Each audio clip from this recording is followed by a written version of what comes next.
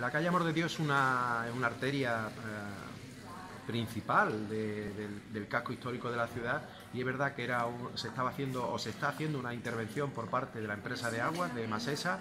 que va a mejorar sustancialmente las tareas de abastecimiento y saneamiento, pero hemos considerado, hemos reconsiderado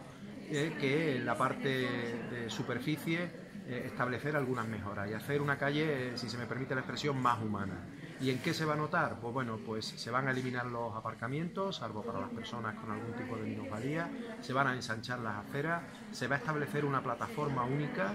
y en la medida en que las infraestructuras de servicio lo permitan, vamos a sembrar árboles, vamos a darle alguna connotación de vegetación en la calle que ahora mismo es inexistente. En definitiva, una calle mucho más humana, más atractiva, donde sea ah, más fácil y más atractivo pasear.